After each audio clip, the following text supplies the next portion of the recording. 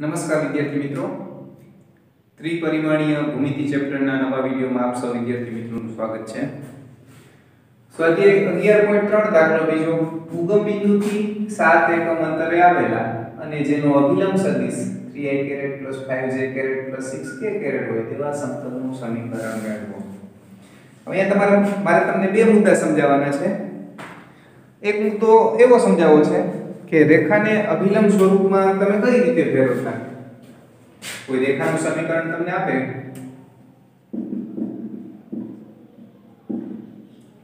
તો તમે શું કરતા?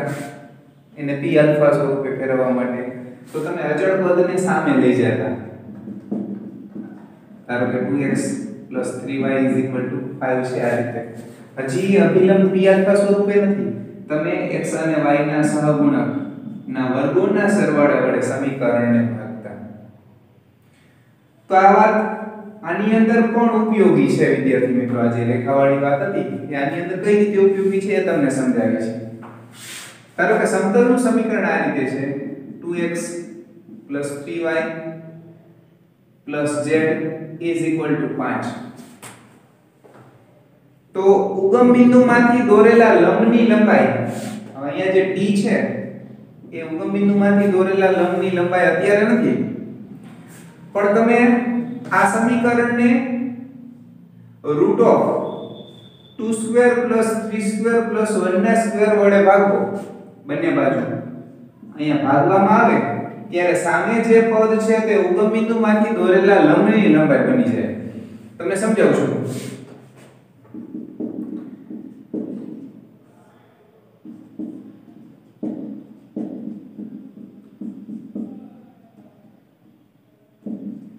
હવે આ ઉગમ બિંદુમાંથી દોરેલા લંબની લંબાઈ બની છે ટૂંકમાં કહીએ તો સામે ઉગમ બિંદુમાંથી દોરેલા લંબની લંબાઈ ક્યારે બને? તો જો સમીકરણને અભિલંબના માન વડે ભાગવામાં આવે, તો સામે જે મળે છે તે ઉગમ બિંદુમાંથી દોરેલા લંબની લંબાઈ થાય. તો આપણે એવું લખી શકીએ કે ઉગમ એક નવી નોંધ છે. ઉગમ બિંદુમાંથી દોરેલા લંબની લંબાઈ p હોય તથા અભિલંબ n સદિશ હોય તેવા સમતલનું સમીકરણ. r dot n caret caret એટલે n ને, n સદિશને એના માન વડે ભાગવાનું, is equal to p થાય. એટલે આપણે લખ્યું છે આવું r સદિશ, n સદિશ એને એના માન વડે ભાગો ઇઝ ઇક્વલ ટુ p આવું, લઈ શકાય. તો આપણે ગણીશું. દાખલો હવે ગણી છે આ બધી વધારાની વાત હતી, સમજાવવા માટેની વાત હતી. લખી છે. સમતલનો અભિલંબ.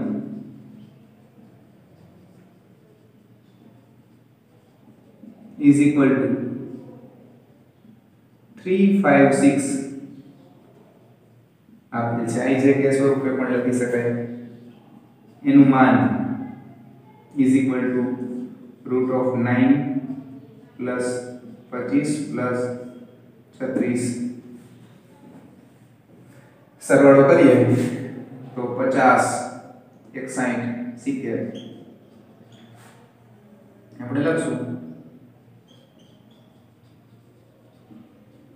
ઉગમ બિંદુમાંથી સમતલ પર દોરેલા. લંબની લંબાઈ. સાત આપે છે. માટે સમતલનું સમીકરણ. આ સદિશ ડોટ એન સદિશ છેદમાં એનું માન ઇઝ ઇક્વલ ટુ ડી મુજબ. ડી એટલે સાત. આ સદિશ dot 3i caret 5j caret 6k caret છેદમાં રૂટ સિત્તેર એન બારનું માન ઇઝ ઇક્વલ ટુ સાત. રૂટ સિત્તેર ને સામે લઈ જાઉં તો સાત રૂટ સિત્તેર બનશે. આ રીતે સમતલનું સમીકરણ મળશે. અને સદિશ સ્વરૂપ છે એટલે r નું આપણે મૂલ્ય મૂકવાનું નથી. R ની જગ્યાએ xyz લખો એટલે કાર્તેજીય સમીકરણ મળે. દાખલો ત્રીજો. કાર્તેજીય સમીકરણ મેળવો તો r ની જગ્યાએ આપણે xyz લખશું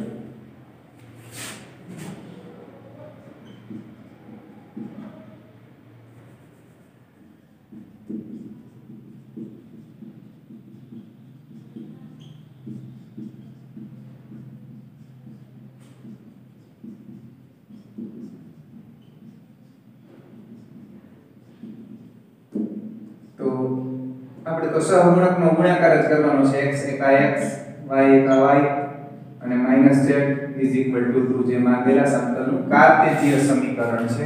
એ જ રીતે બીજા દાખલાની વાત કરીએ.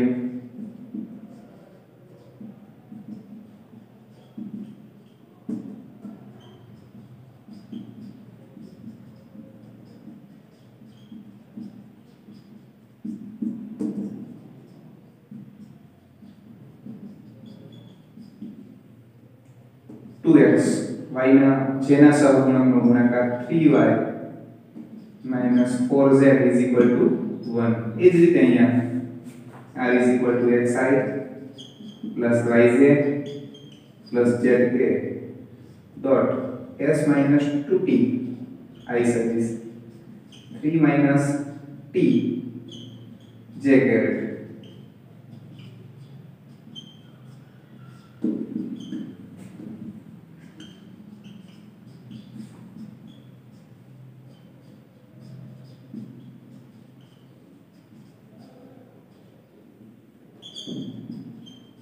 આ રીતે કાર્ટેશિય સમીકરણ મળશે.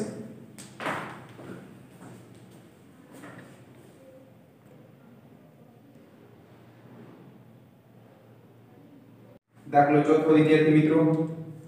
નીચેના પ્રત્યેક પ્રશ્નમાં ઉગમ બિંદુથી સમતલ પર દોરેલા લંબના લંબપાત મેળવો. ચાર દાખલા છે, મેં બે લખેલા છે. એટલે તમને એક સમતલ આપેલું છે. કયું આપેલું છે? લખું છું 2x 3y 4z is minus 12 is equal to 0 ઉગમ બિંદુ ધારો કે અહીંયા છે. હવે આ ઉગમ બિંદુમાંથી આ સમતલ પર લંબ દોરવાનો છે. લંબ m માં મળતો હોય તો m ના સ્થાન સદિશ મેળવવાના છે. એટલે ટૂંકમાં કહીએ તો OM રેખા અને સમતલનું છેદ બિંદુ m મેળવવાનું છે. રેખા અને સમતલનું છેદ બિંદુ મેળવવાની વાત થાય છે. તો સૌપ્રથમ આપણે OM નું સમીકરણ મેળવશું. OM નું સમીકરણ મેળવવા માટે બિંદુ અને દિશાની જરૂર પડે. તો બિંદુ ઉગમ બિંદુ છે? લંબપાત છે. એટલે OM ની દિશા સમતલના અભિલંબની દિશા તરીકે લઈ શકાય. એટલે કે સમતલનો અભિલંબ 2 3 4 ઈ OM રેખાની દિશા થશે. એને આધારે OM નું સમીકરણ મળશે. OM ના સમીકરણને આધારે રેખા પરના કોઈ પણ બિંદુને કઈ રીતે લખી શકાય એની વાત આપણે દાખલામાં કરીશું. આપણે લખીશું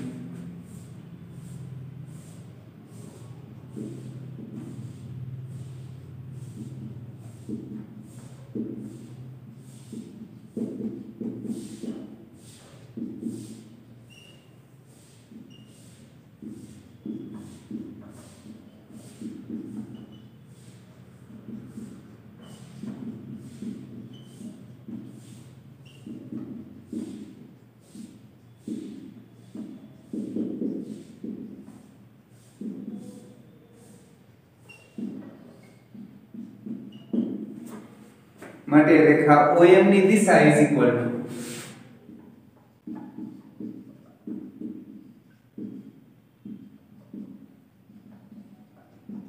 સમતલનો અભિલંબ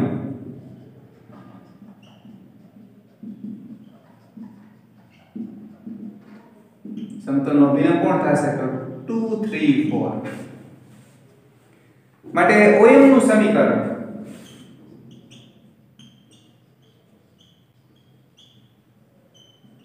r સદિશ is બિંદુ ઓ બિંદુ O00 plus lambda two three four હવે તમને સમજાવી છે આ રેખા કઈ રીતે બને? તો લેમડા બી નું શું એટલે લેમડાની વાસ્તવિક કિંમત તમારે લેતી જવાની હોય. આર એટલે એક્સ વાય ઝેડ છે. લેમડા તમે 0 લેશો એટલે તમને 0 0 0 મળશે. એક બિંદુ મળશે. 0.1 લેવાથી એક બિંદુ મળશે 0.2 લેવાથી એક બિંદુ મળશે. આ બધા બિંદુઓ ભેગા થઈ અને OM રેખાની રચના થશે. ટૂંકમાં કહીએ તો લેમ્બડાની એક કિંમતથી એક બિંદુ તમને મળશે, બીજી કિંમતથી બીજું બિંદુ મળશે. અને એને બીજા શબ્દોમાં કહીએ તો રેખા પરનું દરેક બિંદુ કોઈ એક લેમ્બડાની કિંમતને કારણે આવેલું છે એમ કહી શકાય. લેમ્બડાની એકાદી કિંમત એવી હશે કે જે આમાં મૂકવાથી તે બિંદુ મળ્યું હોય. તો m બિંદુ પણ રેખા પર છે. માટે એકાદો લેમ્ડા એવોય મળશે કે જે આમાં મૂકવાથી m ના સ્થાન સદિશ મળશે. આ વાત તમને ન સમજાય તો આ વાતને તમે ફરીથી બે ત્રણ વખત સાંભળજો. આપણે લખી છીએ m belongs ઓ એમ હોવાથી. હું ફરીથી રિપીટ કરી લેમ્ડાની એક કિંમતથી એક બિંદુ, બીજી કિંમતથી બીજું બિંદુ, આવા બધા બિંદુ ભેગા થઈ આમાં લેમ્ડાની કિંમત મૂકવાથી બધા બિંદુઓ મળ્યા છે અને ઓએમની રચના થઈ છે. દરેક બિંદુ આમાંથી આવેલું છે લેમ્ડાની કિંમતને આધારે. તો એમ બિંદુ આ રેખા પર છે. એટલે એકાદો લેમ્ડા એવો હોય જેને આપણે લેમ્ડા 1 કહીશું.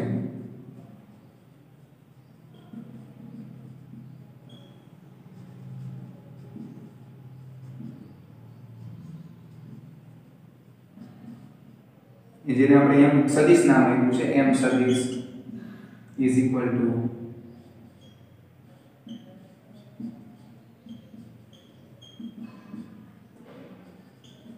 આ આપણે મેળવવાનું છે 2 લેમ્ડા 1 3 લેમ્ડા 1 4 લેમ્ડા 1 સમીકરણ 1 લેમ્ડા 1 મળે એટલે વાત પૂરી લેમ્ડા 1 મેળવવા માટે આ બિંદુ સમતલ પર આવેલું છે. આપણે લખશું કે આનું સમાધાન કરશે.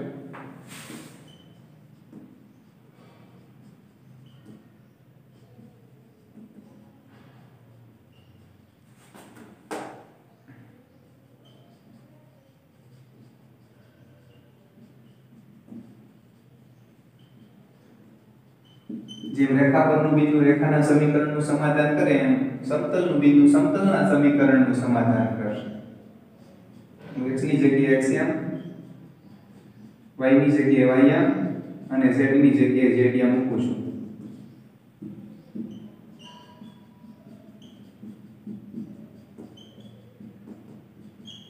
પચીસ ને ચાર, ઓગણત્રીસ. ઓગણત્રીસ lambda one is equal to bar. Lambda one is equal to બાર ના છેદમાં ઓગણત્રીસ. તો એક પરથી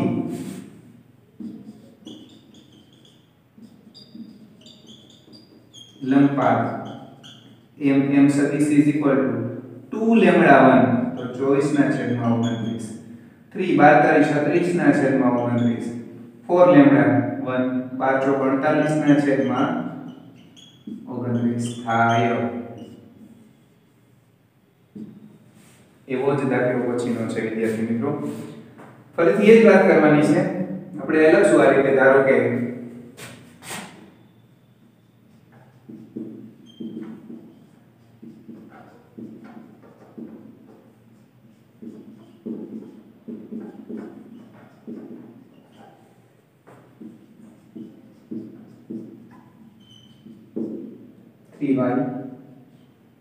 plus four z. minus 6 is equal to zero પર દોરેલ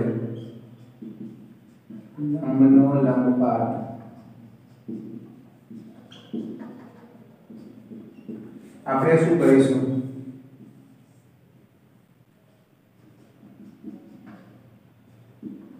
અવગમ બિંદુ છે. આપણે લંબાત એમ ધાર્યો છે. આપણે OM રેખા અને સમતલનું છેદબિંદુ મેળવીશું એના માટે OM નું સમીકરણની જરૂર પડશે. તો બિંદુ અને દિશાની જરૂર પડશે. બિંદુ છે, દિશા સમતલનો અભિલંબ થાય. એટલે આ રીતે લખશું. માટે રેખા OM ની દિશા ઇઝ ઇક્વલ ટુ સમતલનો અભિલંબ તો સમતલનો અભિલંબ આપણે અહીંથી લખશું. 0 3 4 માટે OM નું સમીકરણ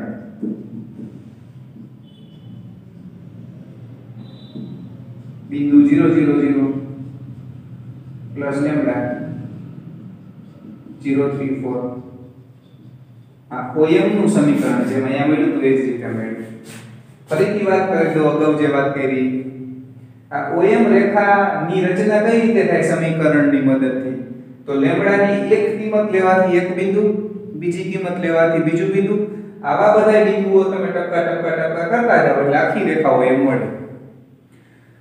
ઉલટા શબ્દોમાં કહીએ તો દરેક બિંદુ આ લેમડાને કારણે મળે. લેમડા એકાદો એવો મળ્યો હોય કે જે આમાં મૂકવાથી તે બિંદુના અહીંયા મળ્યા હોય. આ 0 0 0 આ રેખા પર શા માટે છે? તો લેમડા 0 લેવાથી એ 0 0 0 બિંદુ મળ્યું.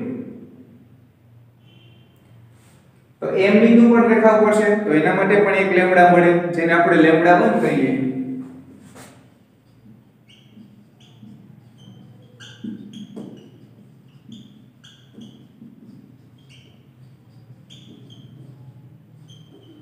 ઈ આમાં મૂકવાથી એમના એ આપણે એવું લખી છે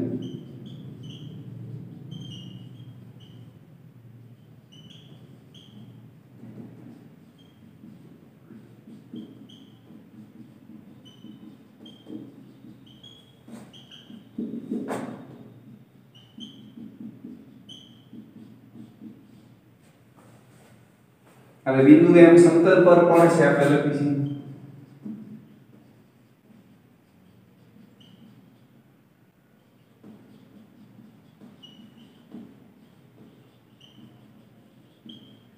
સમાધાન કરાય છે x ની જગ્યાએ 0 કે મૂકવાની જરૂર નથી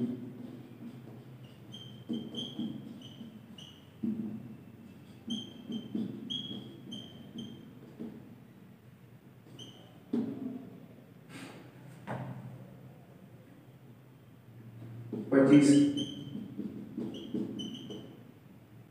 lambda one is equal to છ ના છેદમાં પચીસ એક પરથી લંબપાદ એક કોમન વસ્તુ મળશે વિદ્યાર્થી મિત્રો, તમે ડાયરેક્ટ પણ ગણી શકશો. તમે વિચારજો 0 છ તરી 18 ના છેદમાં 25 છ ચોક 24 ના છેદમાં 25 કઈ વસ્તુ વિચારજો તમે? તો નીચે તો અભિલંબના માનનો વર્ગ આવે છે. જો તમે અભિલંબનું માન અહીંયા કેટલું થશે? તો 4 ને 9 13 13 ને 16 29 અભિલંબના માનનો વર્ગ નીચે આવ્યો રૂટ 29 એટલે અભિલંબનું માન માનનો વર્ગ. ઉપર કઈ વસ્તુ આવી? તો જે અચળ પદ છે એને સામે લઈ જવાનું છે સમતલના સમીકરણમાં. અને એને અભિલંબ વડે ગુણી દેવાનું છે. અંશમાં એવી વસ્તુ આવી છે. તમે આમાંય નોટ કરશો, આગળના દાખલામાં નોટ કરશો, હજી બે દાખલા છે.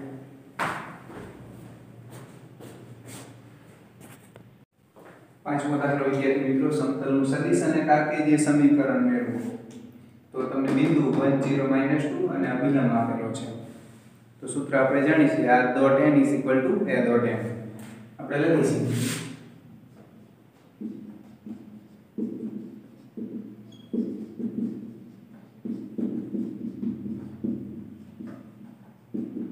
માંથી પસાર થાય છે. તથા તેનો અવિલંબ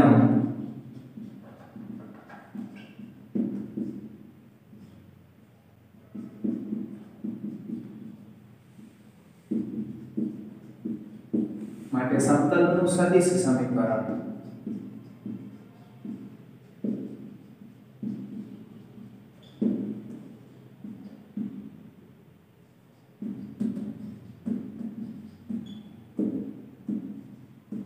સદિશ સમીકરણમાં r નું મૂલ્ય મૂકવાની જરૂર નથી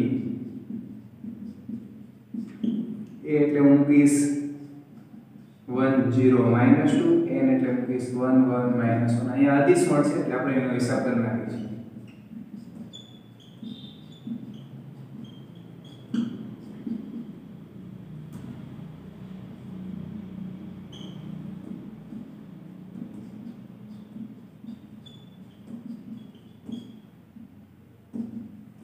એક સાથે ગુણાકાર ઝીરોનો વન સાથે માઇનસ ટુ માઇનસ વન આ છે સમતલનું સદિશ સમીકરણ. આગળ સમતલનું કાર્તેજ્ય સમીકરણ. હવે હમણાં આપણે સદિશ સમીકરણ અને કાર્તેજ્ય સમીકરણમાં કઈ રીતે રહ્યો એ આપણે જાણીએ છીએ.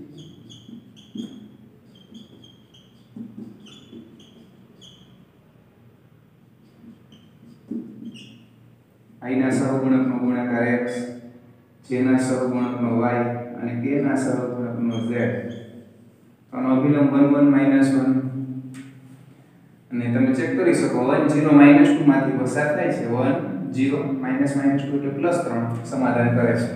એવો જ દાખલો છે. લખી છે આપણે. એક, ચાર, છ માંથી પસાર થાય છે અને અભિલંબ i minus two j plus k છે. લખી છે. સમતલ.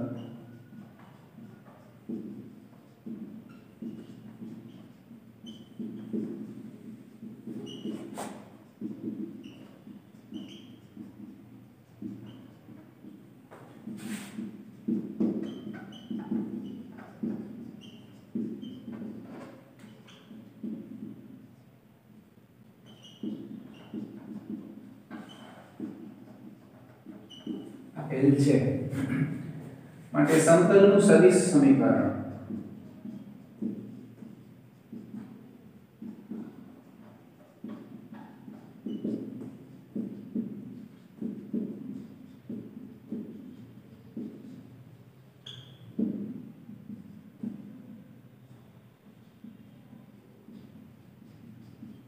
આપણે દોઢ ગુણાકાર કરવો છે, એટલે આપણે આને n અને યામ સ્વરૂપે કરશું?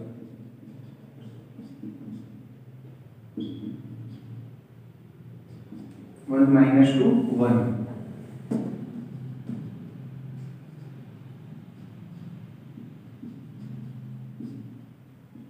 એક एक એક ચાર आठ આઠ.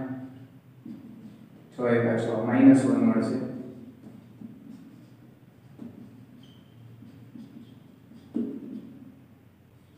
આ છે સદિશ સમીકરણ. હવે કાર્તેજીય સમીકરણ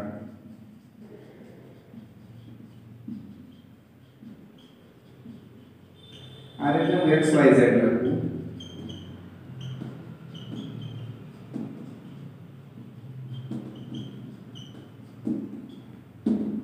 તો i ના સહગુણકનો ગુણાકાર x j ના સહગુણકનો -2y z is equal to -1 આ થશે કાર્તેજી સમીકરણ 1 4 6 માંથી નીકળશે. આ 1 મૂકો. 4 મૂકો. 6 મૂકો 6 ને 7 7 માંથી 8 જાય તો -1 અભિલંબ. 1 2 1